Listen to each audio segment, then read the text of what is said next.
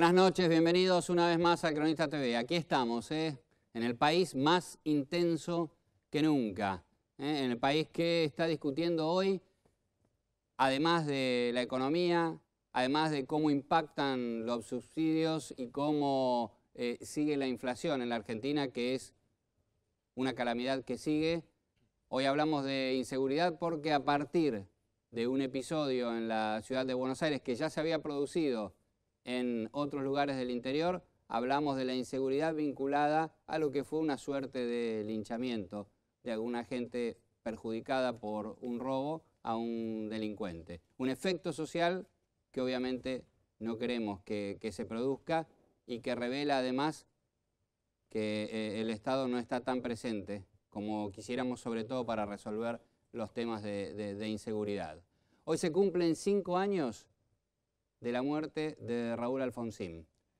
El radicalismo estaba haciendo un acto, de allí se vino nuestro primer invitado de hoy, que es este, Ernesto Sanz, justamente para rendirle homenaje a un presidente que en su momento tuvo eh, muchísimas críticas, sobre todo por el lado de, la economía, y que creo que a partir de estos años de democracia se lo ha ido valorando mucho más. Se lo ha ido valorando, ¿eh? y eso no es un dato menor. Ernesto Sanz está hoy con nosotros, senador de Mendoza, el radicalismo que ayer en la elección eh, de concejales mendocina, que es una especie de test previo, eh, le ha ido bien. Al radicalismo también le ha ido bien al PRO y en una de las ciudades le ha ido bien a uno de los candidatos que responde al Frente Renovador de Sergio Massa. Gracias por estar con nosotros, Ernesto. Gracias por invitarme, Fernando. Eh, una línea, el, acto de Alfonsín, ¿qué, ¿qué es lo que significa? El acto de hoy. De hoy, el de hace un rato, el acto de, de dónde eh, venís vos. Eh, vengo de un acto con muchísima gente, pero fundamentalmente con un recuerdo eh, hacia Alfonsín que nosotros no lo proyectamos hacia atrás, sino hacia adelante. Mucho más que ver con el presente y sobre todo con el futuro que con el legado del pasado. El Alfonsín que nosotros hemos homenajeado hoy es el Alfonsín de los valores que faltan hoy en la Argentina, de la transparencia, de la búsqueda de consensos, del diálogo, del respeto, de la tolerancia, el Alfonsín que fue capaz de crear el Mercosur y que hoy el Mercosur está pasando por uno de sus peores momentos, el Alfonsín que eh, diseñó la última ley de coparticipación federal en el año 1988 que distribuía claro que distribuía recursos entre la nación y las provincias. El Alfonsín que quiso trasladar la capital al sur para generar un proceso de descentralización. Pero no pudo. Ahí vamos a hablar vamos a hablar de Alfonsín este, y de toda la actualidad de Argentina en, un minuto nada más. Quiero antes saludar a mi compañero, José del Río. ¿Cómo, ¿Cómo estás, va Eso? Bien, muy bien. Bueno, hoy tenemos un informe, ¿eh? A ver. Billetera ya no mata galán. Ajá. ¿Por qué? Porque no hay nada en la billetera, o al menos después de los aumentos que, que vinieron. Te voy a contar en detalle qué pasó de enero a abril de este año y por qué cada vez hay menos pesos dentro de la billetera de todos. O sea, todos los aumentos que te te estrujan el corazón. Exacto, ¿Eh? exacto. Ya ni no hablamos de billetes porque billetes ya no quedan, entonces vamos directamente a las billeteras. Vamos a hablar de dinero, entonces te va a contar José cuáles son todos los aumentos que te van a complicar en este tiempo ¿eh? y lo que está viniendo. Noelia Barral Grijera, ¿cómo estás? Muy buenas noches. Buenas noches, Fer. No tengo, espero que no sean tantas malas noticias como las que tiene José para nosotros. Ah, eso, quédate tranquila, no, seguro no, seguro que no. Pero bueno, la presidenta Cristina Fernández de Kirchner lo pidió hace exactamente un mes en la apertura de las sesiones legislativas y finalmente están tomando forma en el Congreso y en algunas legislaturas provinciales proyectos para regular los piquetes. Así que te voy a contar y a ver qué posibilidades tienen de finalmente concretarse. Bien, muy bien. ¿eh? Regulación de piquete es un tema que empezó con la presidenta Cristina Fernández de Kirchner cuando lo mencionó en el discurso del primero de marzo, el discurso de apertura legislativa, ¿eh? que ahí lo está tomando el macrismo en la ciudad y del cual se está empezando a hablar. Todo te lo va a contar Noelia Barral Grijera. Está en la redacción de Cronista nuestro subdirector Hernán de Goñi. ¿Cómo estás, Hernán? Muy buenas noches. Bien, ¿cómo están Fernando, José, Noelia? Bueno, eh, vos sabés que a las noticias, digamos, a la serie de noticias que de alguna forma dieron, ajustaron el escenario económico en los últimos días, una de ellas fue particularmente eh, fuerte para el mercado financiero. Me refiero al recálculo del PBI que informó el gobierno el jueves pasado y que provocó, ya te digo, un infarto en muchos operadores porque prácticamente anuló la posibilidad de que se pague el cupón PBI. Bueno, esto que digamos provocó un efecto, como te digo, negativo, hoy generó, hoy hubo un pulmotor, un pulmotor se prendió y los inversores respiraron un poquito, una grieta legal está abriendo la expectativa de que pueda pueda tal vez este, pagarse el correspondiente a 2013, pero por ahora es una especulación. Hoy los bonos, los cupones subieron entre 7 y 13% y el mercado, digamos, se está agarrando de lo que tiene, que es solamente una ilusión. Con eso, con esa expectativa, digamos, ¿vos, creés, Hernán, que este gobierno va a modificar el 3% de este crecimiento que definió para no pagar los más de 3.500 millones de dólares, ¿te parece? ¿Qué pensás? Yo creo que sí, asumió el costo político de tomar esa decisión y llevarla adelante, está dispuesto a hacer lo que sea para sostenerla. no, lo, pagan más, no, no seguro, seguro. coincido en eso. Guillermo Nielsen, que fue el diseñador de este instrumento que nació con la reestructuración de deuda del 2005, que es la unidad de crecimiento, dice que en su pliego hay que tomar el, no se toma el cálculo literal del PBI como le informa el INDEX, sino que cuando se cambia el escenario base hay que hacer otra cuenta y que esa cuenta permitiría todavía abrir la expectativa del pago. Hay que ver, todavía el INDEX tiene que dar más números y sobre esos números vemos. Perfecto, escúchame, ¿y eh, las reservas están por arriba o por debajo de 27 mil millones de dólares? Porque hace un rato se informaba que estaban por debajo y ahora parece que hay, hay alguna maniobra para que queden por arriba. Sí, todavía están 60 millones, un poquito más por arriba de los 27 mil. De todas formas, el escenario de marzo, digamos, es un poco eh, a ver, cambiante. ¿Por qué? Porque el, Banco Central va a tener que afrontar pagos de deuda eh, bastante, digamos, que le van a restar peso al crecimiento de las reservas, aunque al mismo tiempo empieza la temporada alta de liquidación de los agrodólares. Lo que pasa es que el Banco Central va a tener que vender dólares a los importadores, así que en el neto es muy posible que le cueste sumar reserva. Por ahora siguen arriba de 27 mil. Perfecto, vamos en un ratito entonces a los títulos del diario de mañana, Hernán. Eh, allí estaba, en la redacción del diario, nuestra encuesta en el sitio web www.cronista.com. ¿Qué preguntamos? Tras el arreglo docente, eh, bien, ¿qué porcentaje de suba salarial cree que van a acordar la mayoría de los gremios? Eh? más del 30%, opción 1, 2, entre el 25 y el 30, acordó la UOM 29.6, si estaba acordando hoy, puede ser. Eh, sí, exacto. Eh, construcción también en, Cerró la UOCRA en 29,6, que es una cifra similar a la que cerró ayer eh, puntualmente la UOM, que decían 26 y 29,6 si le sumás una suma fija que se había advertido con la base de convenio. Opción 3 del 20 al 25%, opción 4 otra, si te parece que hay otra. Al final del programa vemos cómo están votando quienes ingresaron a nuestro sitio, quienes están mirando este programa. Bien, entonces vamos a seguir con este, la entrevista. Ernesto Sanz, senador por Mendoza. Eh, Ernesto, eh, quería eh, preguntarte, habló la presidenta hace un rato en la Casa Rosada, lo mencionó a Alfonsín, este, ella bueno, eh, poco antes de morir lo habían recibido en, la Casa Rosada Alfonsín, ella y Néstor Kirchner. ¿Cómo es la relación eh, desde tu punto de vista eh, con, el recuerdo de Raúl Alfonsín por parte de Cristina? A ver, son bienvenidos todos los homenajes, ¿no? Pero en el caso del gobierno, eh, tenemos todo el derecho de decirle al gobierno que más que homenajearlo sería bueno que lo imitaran a Alfonsín. Ajá, vos decís que no lo imitan en No, qué? ¿En no, qué? para nada. ¿En qué? No, bueno, a ver, Alfonsín fue un presidente que toda la vida buscó construir política a partir del diálogo, de la búsqueda de consensos. Él le llamaba una palabra muy concreta, denominadores comunes. Sí, Él sí, hablaba la de decía mucho Alfonsín. Buscar denominadores comunes. Eso en buen romance, ¿qué significa? Significa tener tolerancia y respeto por el que piensa distinto, tratar de no sentirse dueño de la verdad, sino que la verdad de uno más la verdad del otro hacen finalmente la verdad este, final. Este gobierno nunca practicó eso, jamás. Este gobierno siempre fue intolerante con quien pensara dist- diferente. Este gobierno clausuró el Congreso, o por lo menos manejó el Congreso siempre a voluntad y a partir de los proyectos del propio Poder Ejecutivo. Los proyectos de los legisladores opositores jamás pueden lograr transformarse en ley con este gobierno. Me ha pasado a mí y le pasa a muchos este, legisladores.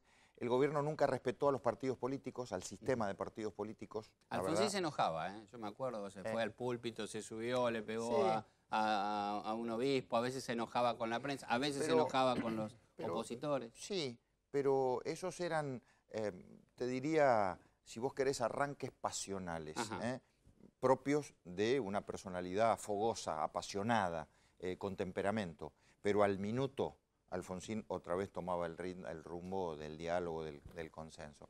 Y, y Alfonsín fue un hombre decente, fue un hombre transparente, fue un hombre que abrió las cuentas de su gobierno. En eso un estás hombre- marcando Diferencias. diferencias. Sí, absolutamente. ¿Te parece que- este es un, go- que- es- que- este es un que- gobierno poco transparente, Ajá. es un gobierno sospechado de innumerables casos de corrupción, es un gobierno que a los jueces que los investigan los persigue y a los jueces que les generan impunidad los protegen.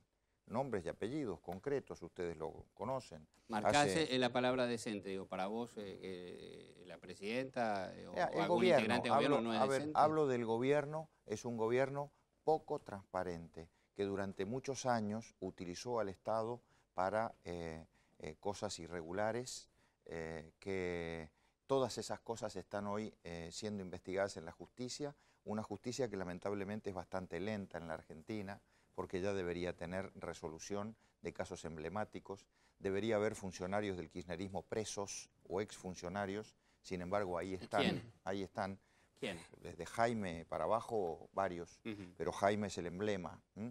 Eh, responsables de la muerte de muchas personas, responsables de haberse perdido miles y miles de millones de dólares en sobreprecios, sobreprecios de obra pública, en subsidios del transporte, en subsidios de tantas cosas, eh, en negocios eh, incompatibles con la función pública.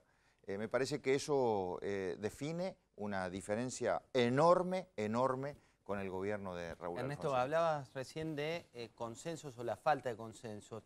¿En qué estado está el disenso que vos tenés con Julio Cobos? No tenemos ningún disenso. Pertenecemos a un mismo partido, somos parte de un mismo equipo que a la vez ya ni siquiera es solo el radicalismo. Es, y esto es una buena noticia para poder darles, este fin de semana ya se supo, pero se los confirmo, el 22 de abril, aquí en Buenos Aires, en el Teatro Broadway, lanzamos el Frente Amplio UNEN, que es una coalición, es un frente, junto con otros partidos políticos, con el socialismo, la coalición cívica, el GEN. Libres del Sur, ¿El es Proyecto Sur. Yo no te diría que hoy tenemos límites. Lo que te digo es que hoy tenemos una construcción que abarca a estos partidos y que nuestro cometido es consolidarla. Después, el día de mañana, esta coalición podrá darse el debate de cuánto amplía el escenario. Pero hoy hay que dedicarse a construir con los que somos y con los que estamos. ¿no? Elisa Carrió sí, Sí, Pino sí. Solana sí, Sí, sí, sí, bueno, sí. Wiener y el socialismo sí. Carrió, Solanas, Lustó, Claro. Pratgay, Tumini, Donda, Margarita Stolbizer, Cobo, Sanz. Muchos. Un y la verdad, común, pero no, no una un equipo, a ver, un equipo, un equipo uh, interesante, un equipo importante, con un programa económico, Javier González Fraga, con un programa económico, con una visión de la Argentina hacia adelante, te diría que eh, la el gran desafío de este conjunto es salir de la Argentina de la decadencia, ¿m?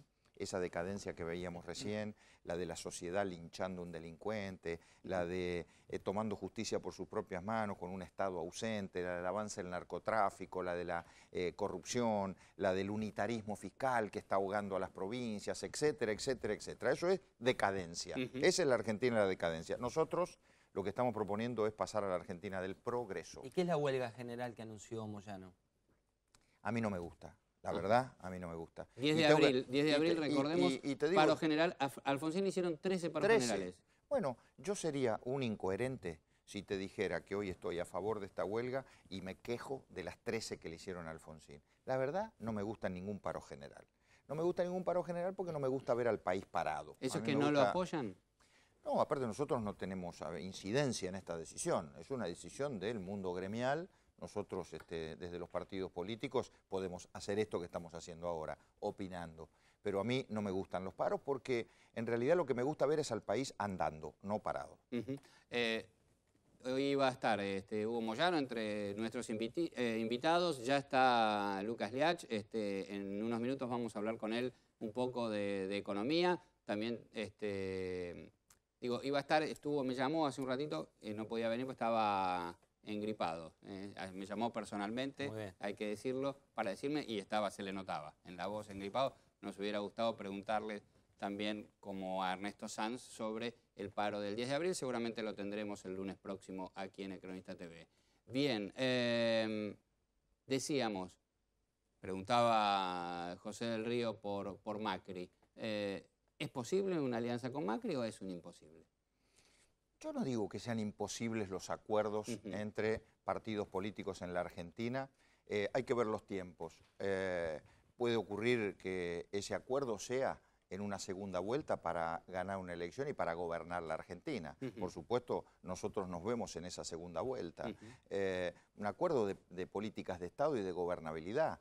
Hoy hablar de acuerdos entre partidos políticos que tenemos rumbos diferentes, me parece que hace ruido, que no es necesario hacer ruido cuando uno está en plena etapa de construcción. Nosotros hoy estamos en plena etapa de construcción y te puedo asegurar que eh, con mucho éxito, con mucho entusiasmo y reitero, el 22 de abril larga el Frente Amplio UNEN una alternativa este, de progreso. En el Teatro Broadway, como, las estrellas. Como, las grandes estrellas. con las luces. Es, que, queremos este, ocupar el centro del escenario. ¿eh? ¿Por qué eh, hablábamos en el arranque del programa del tema de linchamiento? Se ha producido uno en, una suerte ¿no? de, linchamiento. Afortunadamente no, no, se llegó a, un caso extremo, pero sí había sucedido en Rosario. ¿Por qué suceden estas cosas en Argentina hoy? Porque el Estado está ausente porque el Estado está ausente mientras los ministros del Poder Ejecutivo Nacional se pelean. A ver, si la Argentina es un país de producción de, drogas o es un país solo de tránsito. Cuando hace rato somos un país de tránsito, de producción y de consumo.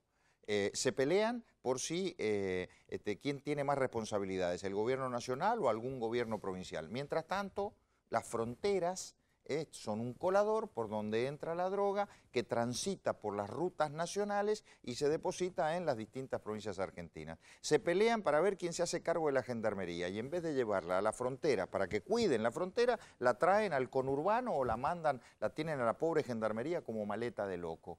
En definitiva, el Estado, patentizado en esos funcionarios incapaces, con una enorme incapacidad de gestión, está ausente. Y lo grave es que cuando el Estado está ausente, aparecen distintas formas de reacción de la sociedad.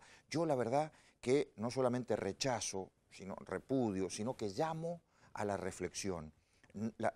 hacer justicia con mano propia ya nos coloca en una situación de un desorden, de una anarquía. que, la verdad que, la verdad que, ¿cómo? Eso es por el hartazgo de la inseguridad. Sí, a ver, eh, a ver, eh, uno puede comprender a la sociedad en su hartazgo, porque la verdad el tema de la inseguridad, ustedes ponían ahí si este es el tema más importante en términos sociales. Sí, sin duda, es el tema más importante de la coyuntura. El más importante estructuralmente es la desigualdad social, pero en términos de coyuntura es la inseguridad. Ahora, por más importante que sea el tema de la inseguridad, por más hastío que genere en la población y por más comprensión que podamos tener nosotros, sobre todo con las víctimas, nada justifica que haya justicia por mano propia. El que tiene que tomar eh, nota de esto es el gobierno, el gobierno nacional, los gobiernos provinciales, los gobiernos comunales, porque en realidad ese es el Estado que está ausente ahora. Bien, eh, Ernesto Sanz, eh, muchas gracias por estar con nosotros. Vamos a seguir consultándolo y como siempre hacemos acá en Necronista TV, te vamos a pedir un título para el diario de mañana. Que se te ocurra a vos, ¿eh? si querés el tema de inseguridad, si querés el tema político, si querés el tema Alfonsín, lo que quieras. ¿eh? Sí, lo tengo en la cabeza. lo, tengo en la cabeza, muy bien, muy bien, lo tenés ya preparado. ¿eh? Ahí está, letra, imprenta, clara, ha venido, me acuerdo, del turco Asís, que vino y tenía una letra de médico, aunque es escritor y periodista. Termina marzo, dice Ernesto Sanz en su tapa del cronista, sin guardapolvos. ¿eh? Termina marzo sin guardapolvos, quiere decir... Paros, ¿Eh? paros, docentes. Paros docentes. Bueno, pero ya eh, está en, la mayoría, en la mayoría de, las provincias todavía sin resolver. termina marzo como empezó, sin guardapolvos. Marzo es el mes de los guardapolvos blancos. Lo terminamos mal. Ernesto, muchas gracias. Lo invito a ver, Ernesto, te invito a ver el informe de José del Río. Dijo que iba a hablar de la inflación. Te invito porque te va a contar los gastos que se te vienen ahora en tu casa. José, todo tuyo. Y tomalo con humor, porque si no lo tomás con humor, claramente te vas a deprimir. Sacá la billetera y fíjate cuánto te rinden tus pesos y vas a ver que te rinden cada vez menos. Esto tiene que ver con lo que viene ocurriendo de enero a marzo de este año. Por ejemplo, ¿qué pasó con las prepagas y con los colegios privados? En promedio aumentaron un 20%. Hay colegios privados que aumentaron hasta un 29% y prepagas que ya lo hicieron en un 22%. Si vas al gas natural y el agua potable, te dijeron, te vamos a recortar los subsidios, eso no es un ajuste, no es un tarifazo, pero lo cierto es que cuando vayas a pagar las próximas boletas, las próximas tarifas bimestrales, vas a tener aumentos de entre 284 y 406 porteños si vivís en la zona de Buenos Aires y la capital, en el caso del gas natural y también en el caso del agua. Desde enero, colectivos urbanos te aumentaron más de un 60%.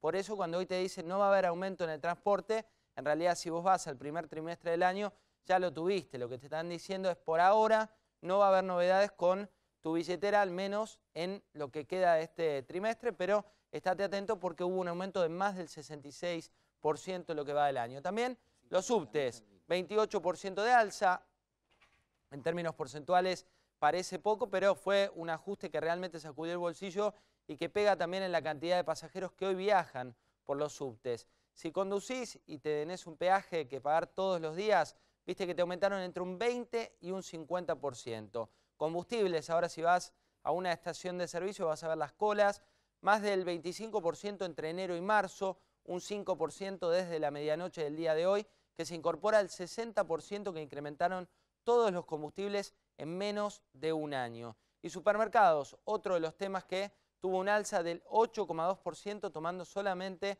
enero y febrero, de acuerdo a los datos que ahora son oficiales y antes eran solo los datos de las consultoras privadas. Pero hay seguramente más aumentos que vienen. Expensa se está acordando con el gremio de los encargados, con Víctor Santamaría, un incremento para los encargados. Eso va a pegar directamente en las expensas, se calcula entre un 18 y un 20%. Servicios en general se vienen nuevos aumentos, también están calculados entre el 20 y 23% al menos para este trimestre. Y alimentos, el tema que hay que seguir muy de cerca porque cuanto menor es el poder adquisitivo, más es lo que se destina para los alimentos.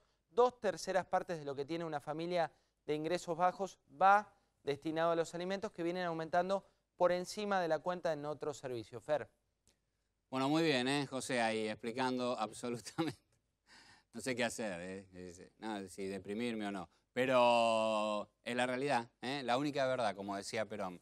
Tenemos eh, otro invitado importante que es uno de los economistas jóvenes que por lo menos a, nosotros, con, José, con Noelia, con, los periodistas y cronistas, nos gusta mucho seguir.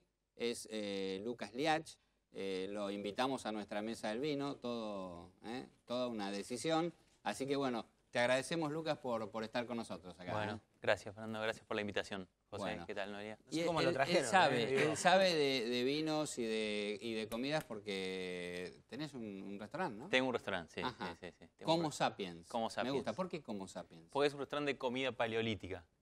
¿Qué no, es comida? Comida paleolítica es todo menos harinas, azúcar, Ajá. arroz, carnes, verduras, frutas. Creemos que la comida más saludable. Bien, bien, bien básica, digamos, bien pero básica, saludable. bien, muy saludable. Sí. Como-sapiens.com. ¿Y va Ya bien? que estoy. ¿Va Ya- bien o ya- no? ya- Va- ya- ya está. Eh, de paso, digo, ya que vinimos. ¿Cómo? Estamos con el vino. ¿Cómo? Como-sapiens.com. Pero Ahí el vino está. está permitido. Vino totalmente permitido, viene de la uva, que es una fruta muy noble.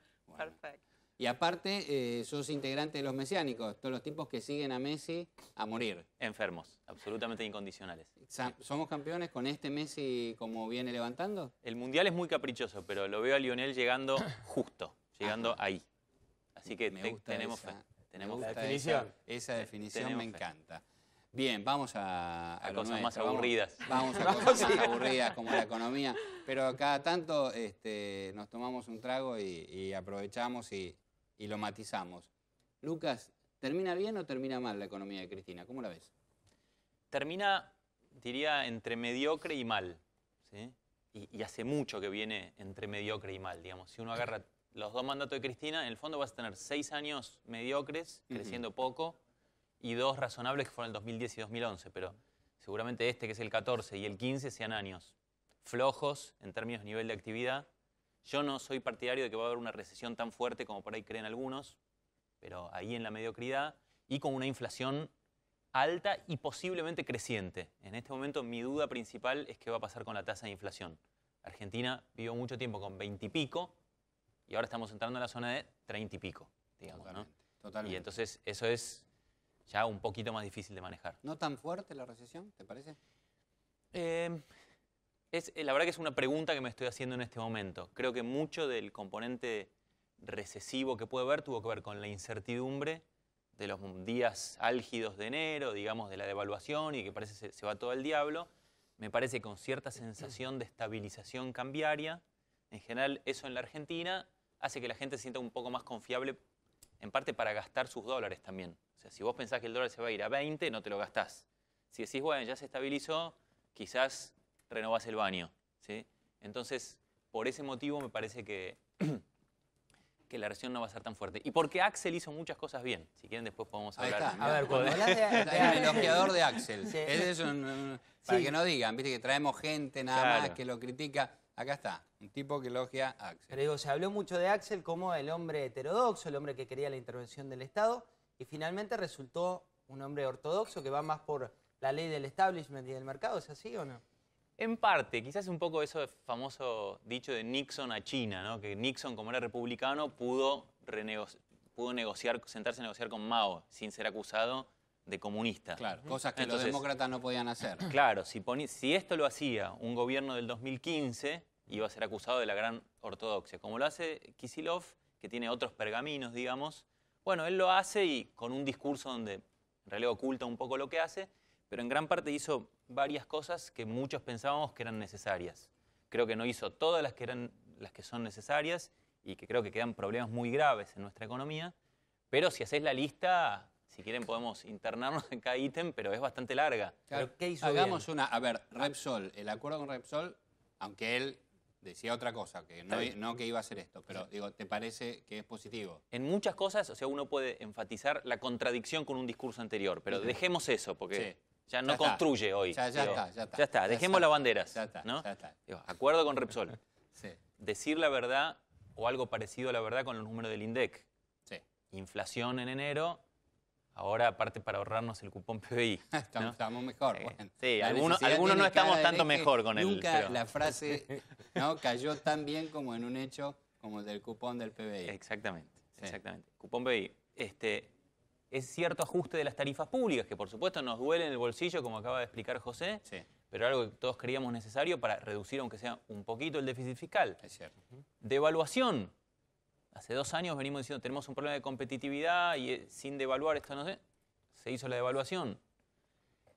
idea de que vamos a conseguir financiamiento afuera Sí. para reforzar la reserva del Banco Central. Y eso amainó la expectativa de que haya una crisis de los dólares. Entonces digo, va sumando y en total son muchas de las cosas que el sentido común de los economistas pedía. Y juega con el Banco Central, digo, juega con Fábrega en términos de aspirar pesos y dejar de emitir moneda como, como hacía Mercedes Marco del Pont. Sinceramente no tengo claro cómo es, si hay o no una interna entre ellos y dos posiciones distintas. Yo te digo, lo que parece es la posición del gobierno en general Y ves sí, coherencia en la eso. política del Banco Central ha sido devaluar y después tener una política monetaria como para que el blue no se vaya al diablo también. Entonces mantener esta brecha cambiaria en, un- en un cierto nivel. Y ahora con todas estas medidas, ¿vos calificarías de ortodoxo el, el Y, ajuste entre Digamos, es un viraje hacia la, hacia la ortodoxia. La ortodoxia que a mí me gustaría es mayor Claro, claro. y tiene un par de componentes más. Básicamente te digo dos. Dos cosas que son importantes y que cualquier gobierno tendría que hacer para recuperar el crecimiento, que al final es lo importante. Ajá. Una es la unificación cambiaria, o sea, no sé si alguien ve el programa de Maduro que tiene por televisión, yo a veces Ajá. lo veo, Ajá. y ahí habla de los distintos dólares que tiene Venezuela, es bastante gracioso, porque ahí las diferencias son monstruosas. Claro, Digo, los países normales tienen un solo dólar. claro. O sea, basta de dólar blue. Sí, eso lo podríamos hacer y se puede hacer con poco esfuerzo. ¿No Sí. te parece un mercado marginal, como dice el gobierno? No, obviamente es muy importante, es muy importante porque hace que la gente no quiera traer dólares a la Argentina. Te dan 8 por algo que vale 11. Por las expectativas, sobre todo. Por las expectativas a futuro y por el hecho de que es un impuesto a traer dólares a la Argentina. Ajá. Mucho dólar a la Argentina lo traes a 8, pero vale 11, perdiste 20 y pico por ciento en el camino. Claro. Nadie va a traer inversiones. Entonces, si querés inversiones, dale a, los dólares lo que los dólares valen. ¿Sacás el cepo? Sí, totalmente. Sacar el cepo, Listo. unificación cambiaria. Después podemos discutir el nivel del dólar. Sí, ok. Para Esa mí era una. estará entre 8 y 10 en algún lugar, Ajá. pero que sea uno solo. Ok. Esa es una cosa. Y la otra, obviamente, la inflación. O sea, la ¿Y ahí sirven los precios cuidados o son No, es una, para digamos, la hinchada? Complemento. es para la hinchada, es para que el INDEC, porque ese es un tema también, Claro. ¿no? El número que publica el INDEC tiene un componente de precios cuidados aparentemente mayor que lo que la gente en verdad consume precios cuidados. Sí, muchos de nosotros vamos al supermercado. La otra vez me compré un atún de precio cuidado, ¿Y pero ¿Lo encontraste? Era, era más barato, estaba ahí abajo. lo comiste? Lo comí, estaba Sí, muy bien, bueno, sí, bueno. aparte lo comí en condiciones extremas, lo necesitaba mucho. Muy bien. Este, ¿En el restaurante pones ese atún de precios cuidados? no, no, ahí ponemos el primera marca. Pero digamos, creo que eso hace que un poco el índice que da el INDEC no sea exactamente el verdadero, pero es muy cercano. Pero fuera de O sea, eso, la, la fórmula de la gaseosa tiene mucho precio cuidado. sí. exactamente. sí. Y en este contexto, ¿qué, te, qué, te- qué opinás de las paritarias en casi 30% que está convalidando el gobierno? Bueno, de alguna manera me parece un éxito para el gobierno. Y con esto quiere decir, son paritarias que dan un aumento que no recupera ni siquiera la inflación del año, que, que de hoy a 12 meses atrás habrá sido algo como 35. Eso dice, por ejemplo, el sitio www.inflacionverdadera.com, que es muy creíble, te da 35. Ajá. Si te da un aumento de 30, perdiste 5% en poder de compra. Entonces, Baradel, que ahí eh, lo veo en alguna pantalla, este, tiene razón en pedir esos aumentos mayores. Es decir, Moyano dijo hoy que, bueno... eh, 32, sí. No menos de 33. No menos de 33. No, Ah. no menos de 33 en, paritarias. Que- Eh, ¿el, el nivel de reservas te preocupa que se caiga? Y lo que pasa es que ahí Hoy, hoy bajó de 27 un poquito, como contaba Hernández Goñi recién, y después le pusieron 60 millones por arriba de los 27 mil millones. el esquema, por el esquema que tiene Argentina ahora, las reservas dependen mucho de las fluctuaciones de su cuenta de comercio. Entonces, a medida que lleguen los dólares de las cosechas, esto hace que se engrosen las reservas. Y eso es muy importante para el nivel de actividad, porque más reservas es, puedo pagar más importaciones, puedo decir a los importadores, dale, trae esos insumos, y eso va a hacer, en mi opinión, que el nivel de actividad no caiga, mi impresión, esto no lo sé muy bien, no caiga tanto como alguna gente cree. ¿Y el Sí. empleo es la principal variable que hay que tener en cuenta para este año? Te digo, vi una encuesta de empresarios el otro día y más bien la cosa es mantener en un año difícil, pero yo no veo que vaya a haber una caída grande del empleo. Sí, obviamente no tenemos la creación de empleo de los primeros años del kirchnerismo, ¿no? Pero pensamos que la tasa de desempleo argentina es razonablemente baja. ¿sí? Entonces, obviamente que es más difícil crear empleo cuando ya tiene empleo 94% de la gente que quiere trabajar. O sea, hay 6 o 7, digamos, que no, que no tienen un empleo. Cuando eh, Kicillof empieza con el dedito en los discursos, eh, se agarra con la prensa, con... Nosotros ya no le damos bolilla, pero digo, eh, con los economistas y todo, ¿te da, te da bronca? ¿Qué, qué te produce? Sí, la verdad un poco me aburre escuchar a Kicillof porque es muy largo para hablar. ¿sí? Este, y además si habla en un idioma eh, que en gran parte me cuesta entender, sinceramente. Pero de todos modos... ¿Pero yo- por qué te cuesta entenderlo? Bueno, no sé si es a propósito o sin querer, digamos, pero habla en termi- muy en términos conspirativos y como si, como si el rol de los empresarios sea hacer, no sé, caridad o el rol de los sindicalistas fuera contribuir al bienestar del país. No, cada uno más o menos busca dentro de los límites legales su propio interés. Ustedes, nosotros. Entonces, uno tiene que contar con que así funcionan las economías y poner reglas como para que la gente, siguiendo su propio interés, bueno, invierta, ¿sí? genere innovaciones y, y la economía crezca. Entonces, tiene como toda una visión que yo no comparto en ese sentido, pero celebro que tome las medidas que en este momento son, creo, más razonables. Pero si te parece que está tomando medidas razonables, ¿por qué ves eh, una economía mediocre hacia el fin del mandato de Cristina? Por el sistema que tiene Argentina, de un sistema de muy alta inflación, o sea, hacer un negocio hoy en la Argentina, preguntar a un extranjero, tenés que traer dólares, te sacan una parte por el control de cambios, y después no sabes si va a ser negocio o no, porque hoy, hoy es negocio, pero después te suben los salarios más que los precios, una gran incertidumbre, entonces eso hace que la gente no invierta en un país así. La cara buena de esto es que lo que necesita Argentina para que le vaya bien no es tanto. Sí, es bajar un poco la inflación, que es algo posible y lo hacen todos nuestros vecinos, no podemos ser tan incompetentes. Punto uno. Y punto dos, sí, querer un poquito más al capitalismo y decirles vengan a invertir acá que está bueno, van a ganar plata y nos va a ir bien a todos, digamos. Con ese par de cosas, digo, eso es una buena noticia para eh, un potencial sucesor. No es tanto lo que hay que hacer para que a Argentina le vaya bien. ¿Y es exagerada la comparación con Venezuela cuando hablas de economía o hay similitudes? digamos, hay similitudes, pero con diferencias de grado muy grande. Por ejemplo, en la brecha cambiaria. El dólar oficial de Venezuela es 6 y el paralelo es 70, en cambio acá es 8 a 11. Sí, sí, no, Entonces- estamos, no estamos tan lejos.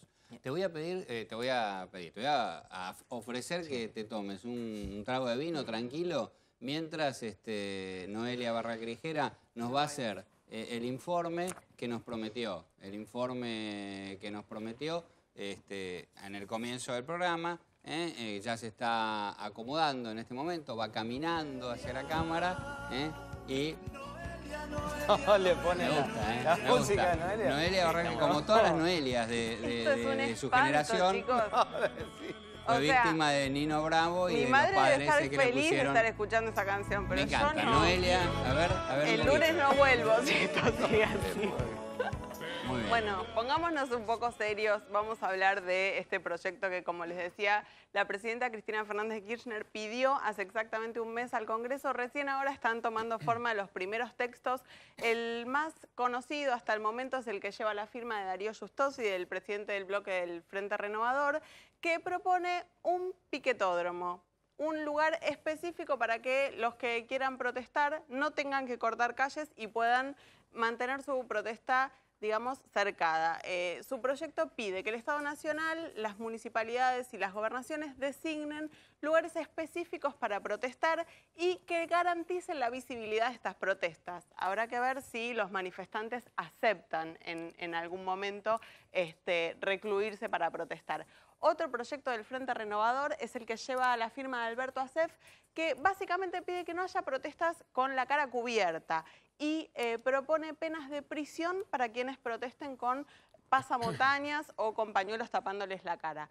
Y el tercer proyecto es el que está trabajando el kirchnerismo, va a llevar la firma del senador Aníbal Fernández. Todavía no se conocen eh, datos precisos de este proyecto, que probablemente termine siendo el que tenga el apoyo del Gobierno Nacional en el Congreso, pero eh, lo que sí adelantó Aníbal es que quiere eh, llegar a un equilibrio entre la regulación de la protesta y un Estado que no sea represor.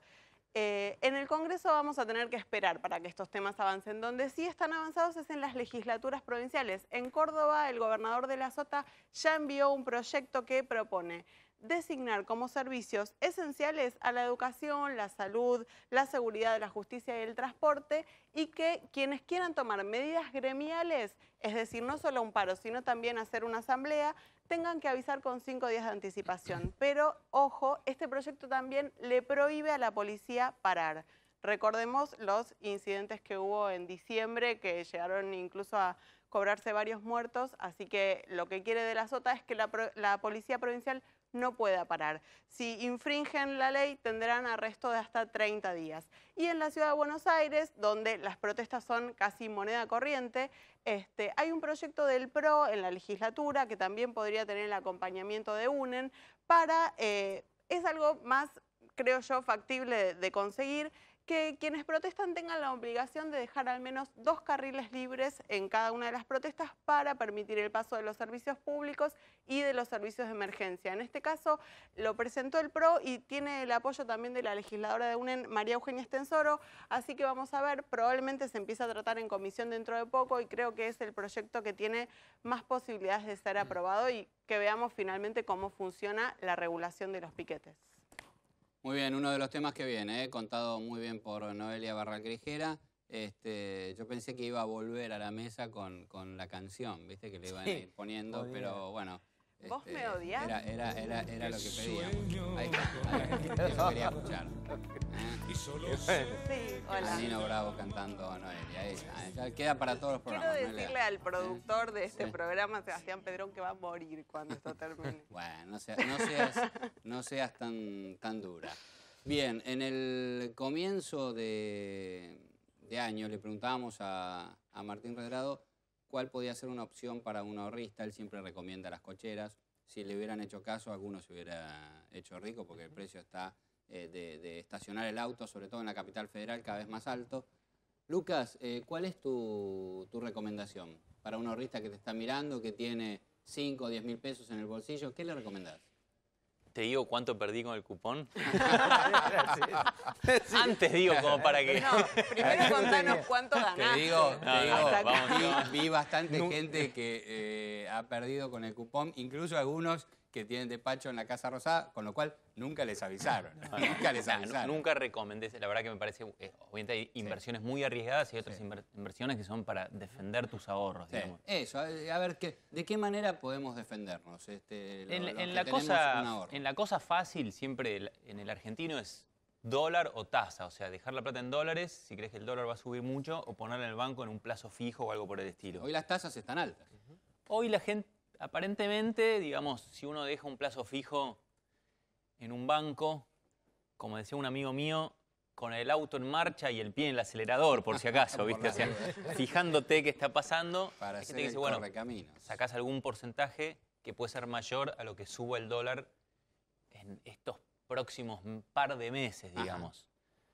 Si uno no quiere preocuparse, sigue siendo razonable en la Argentina guardar los dólares, porque es muy inestable nuestra moneda y vos no sabés cuánto puede ir el blue, cuándo va a subir, cuándo va a bajar. Entonces, para el, digamos, el que no, no- no quiere complicarse mucho la vida, siempre el dólar me parece que es una opción que más o menos te asegura. ¿sí? Salvo, sí, si uno en el 2002 compró dólares a 4 y después la inflación te lo comió muchísimo, puede ser. Em, y después, bueno, como cosa un poco más sofisticada, aunque no tanto, la verdad que los bonos argentinos normales, Ujú, un bono cualquiera normal, Sí. que se puede comprar por el home banking, digamos, claro. es un bono que te da una cierta rentabilidad y que hoy es imposible que la Argentina haga un default a esos bonos. Ajá. ¿Y Sí. cuál, qué, cuál, Sí. qué bueno recomendás? Algunos dicen BOD en 2015, yo compro uno que se llama PAR. Es muy difícil saber cuál va a subir más que otro, pero como filosofía general, la idea de poner la plata en un bono, que Argentina te dice, mira, esto te lo voy a pagar, y por el precio al que compras hoy, el rendimiento que tienes, como por ejemplo del 10% anual en dólares, según el bono.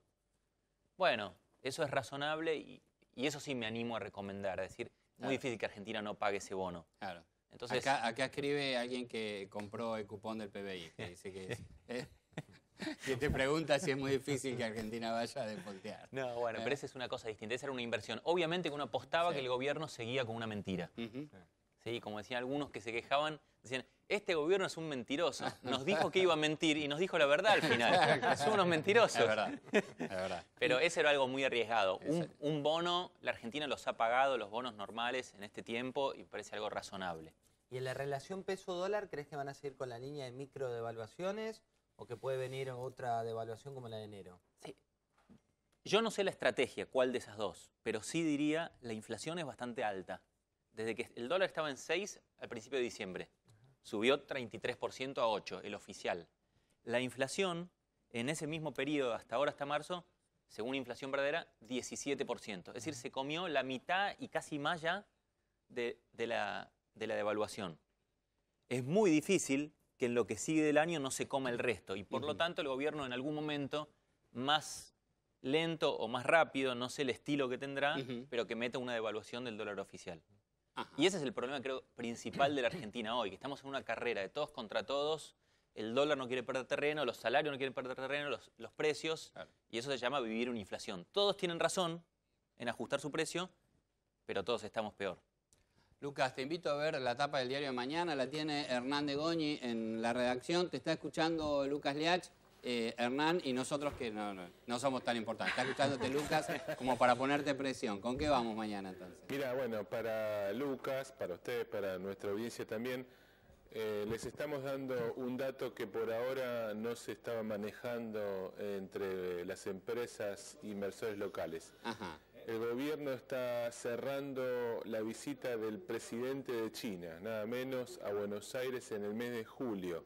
El objetivo es ponerle un broche de oro a contratos importantes de obras públicas, entre ellos las represas de Santa Cruz y el Belgrano Cargas, que le permitan generar una nueva dosis de financiamiento, o sea, ingreso de dólares financieros para el Banco Central.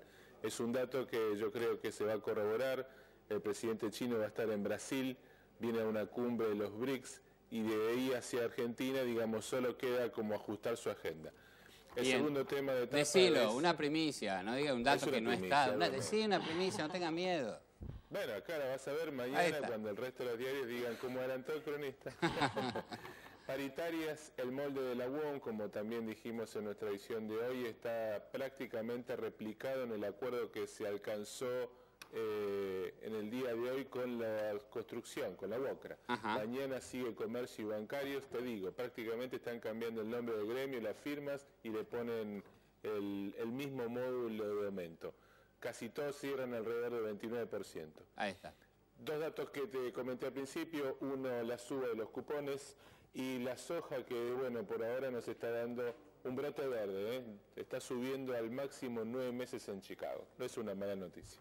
Buen cierre, Hernán. Entonces, eh, Lucas, eh, una viene el presidente de China, eh, parece. Se está terminando de cerrar eh, una, una reunión entre la presidenta y el presidente de China, como dijo Hernán, para, para cerrar a ver si pueden conseguir unos dólares, ¿no?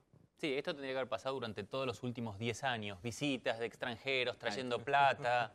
¿sí? Y hoy venimos y nos traen unas monedas, digamos. Esta es la pena de esta década. ¿sí? Que era un país con unas oportunidades enormes y esto tiene que haber pasado mucho más desde hace mucho tiempo. El, el miércoles se junta, eh, pasado mañana, Kisilov con los embajadores europeos. También es como un cambio, ¿no? El giro, el giro viene por varios lados. Sí, sí, ¿eh? totalmente. Tiene Estamos que ver con todo. modo Club de París, eso va a servir, digo, pero son magnitudes ínfimas. Sí, al lado de lo que podría haber sido. Lucas, gracias por estar eh, en esta mesa con nosotros. Igual te invito a quedarte, que todavía tenemos este, un par de cosas más. La primera es la encuesta, la encuesta de cronista.com. Preguntábamos, tras el arreglo docente, eh, ¿qué porcentaje de suba salarial cree que van a acordar en la mayoría de los gremios? Hablaba recién Hernán de la construcción, 29.6 como la UOM.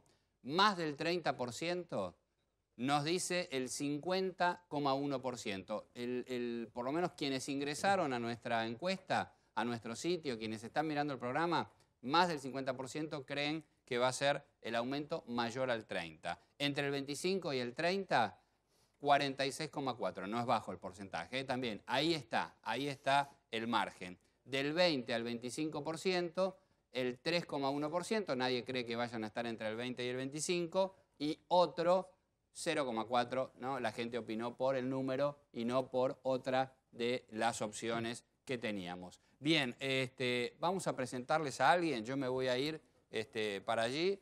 Me voy a llevar esto, exactamente, eh, para presentarles a alguien del cronista, que es la gerenta de marketing. ¿Por qué? Porque hay una noticia. La noticia es que hoy premiaron al cronista con el lápiz de platino, el premio más importante de la publicidad argentina, la publicidad del cronista, aquellas de todas las voces en un mismo lugar, aquella de la foto donde estaba la nata con eh, Víctor Hugo Morales, ahí está, Víctor Hugo La Nata, que fue la más conocida de otras que tenía Merkel con eh, Obama, eh, los jefes de gobierno de Alemania y de Estados Unidos, la que tenía ahí a, Zuckerberg con Bill Gates, la que tiene a Carrió, a Lilita Carrió con Mauricio Macri, la que tiene a Caballo con Moreno, ¿eh? la pelada de Caballo y los ojos azules con los bigotes de Moreno. Bien, una de las responsables de este trabajo es nuestra gerente de marketing, Nerina Barrios. ¿Cómo estás, Nerina? Bien, Fernando, gracias por invitarme. Bueno, no, gracias a vos. Contanos, ¿por qué, por qué se hizo la, campaña de este modo, digamos? La campaña en realidad nace para conmemorar los 105 años eh, del diario. Eh, se busca transmitir justamente la neutralidad y la objetividad del diario. Eh, y trabajamos junto con Diana Rubika en un proceso bastante largo y llegamos a, justamente a todos los puntos de vista en un mismo lugar, que es el cronista. Y mediante estos personajes de la actualidad, lo que se hace es fusionar caras que justamente tienen distintas opiniones y que nosotros en el diario hacemos un lugar para todos, ¿no? O sea, compartimos la opinión de cada uno. La campaña es de la agencia Rubicon, ¿eh? una de las más importantes en el mercado. Primero nos dieron el premio el lápiz de oro hace dos meses y hoy nos confirmaron que habíamos ganado el premio al lápiz de platino. El lápiz de oro es como eh, el, Martín Fierro común y el lápiz de platino es como el Martín Fierro de oro, digamos, ¿no? Porque es el premio de todas las campañas publicitarias que hubo y que la ganó la campaña de cronista. del 2013. ¿Hay segunda parte? Se viene la segunda parte. Ah, pero todavía no vamos no podemos decir nada, no podemos decir nada, pero se, viene, se viene la segunda parte. Nerina, muchas gracias. Gracias a ¿eh? ustedes. Bien, muy bien. Eh, para terminar, entonces, empezamos hablando eh, con Ernesto Sanz de Cristina, de Alfonsín, de estos cinco años que Alfonsín ha muerto y que nos ha dejado un legado. Hoy valoramos el aporte a la democracia que le hizo Alfonsín, el trabajo por los derechos humanos, aquel juicio a las juntas. Hoy valoramos el compromiso ético de Alfonsín. Murió en la misma casa donde vivió muchísimos, muchísimos años. Y aunque no tuvo buenos resultados económicos, en la economía le fue mal. ¿eh? Alfonsín terminó mal económicamente el gobierno de Alfonsín, valoramos las convicciones. Es un buen espejo para todos los gobernantes es un buen espejo para Cristina, que está transitando sus últimos 20 meses de gobierno, ¿eh? porque tiene que aprender de lo que fue la trayectoria, el gobierno, el final de Alfonsín, de lo bueno y de lo malo. Antes de dejar la Casa Rosada, Alfonsín dijo la que me parece una de las mejores frases. A veces no pudimos, a veces no supimos, a veces no quisimos. ¿eh? No había soberbia en esas frases, había humildad. Ojalá Cristina, la presidenta, y todos los que vengan después de Cristina en el 2015, todos los gobernantes que tiene la Argentina por delante, puedan decir lo mismo que dijo Alfonsín. Alfonsín nos enseñó eso, que la soberbia no es necesaria para ejercer el poder, que la democracia es un aprendizaje de todos los días y eso no es poco para esta Argentina adolescente.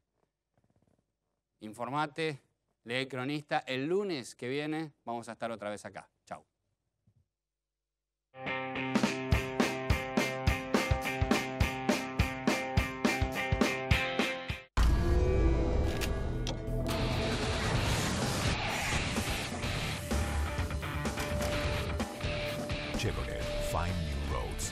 Aceitera General de ESA, una empresa argentina que exporta al mundo la riqueza del campo, abriendo nuevos mercados internacionales para el país y la provincia.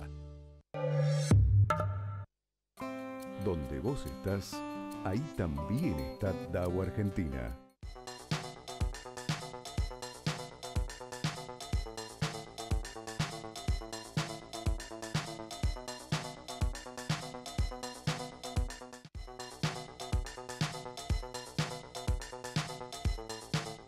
Toyota creamos nuestra nueva reserva ecológica en la planta de Zárate. Un compromiso ambiental con la naturaleza, un compromiso con vos. Toyota, líder mundial en movilidad sustentable.